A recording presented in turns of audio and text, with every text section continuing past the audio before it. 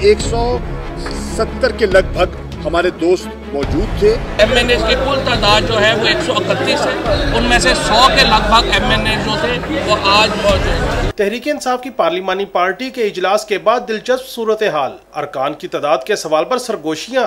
दो सौ दो सौ पच्चीस अरकान आज शामिल हुए थे जिसमें से मेम्बरान की तादाद एक सौ एक सौ सत्तर के करीब शाह महमूद कुरैशी ने इजलास में हाजिरी की तफसील बताई। क्योंकि आज हमने इन्वाइट किया था members of the national assembly को।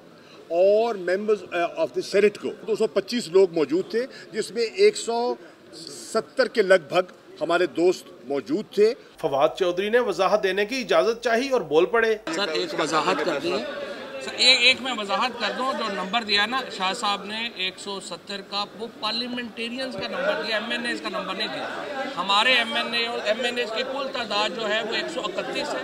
उनमें से 100 के लगभग एमएनए जो थे वो आज मौजूद हैं। फवाद चौधरी ने बाद में अदाद शुमार की पूरी तफसील सुना दी। पी टी आई की जो अपनी तादाद है वो वन हंड्रेड फोर्टी नाइन के ऊपर जाएगी।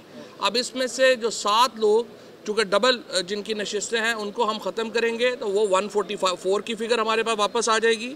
उसके बाद एम क्यू एम की सात सीटें होंगी, क्योंकि वो छः नशस्तें हैं उनकी तो उनको भी एक खातून की नशस्त मिलेगी।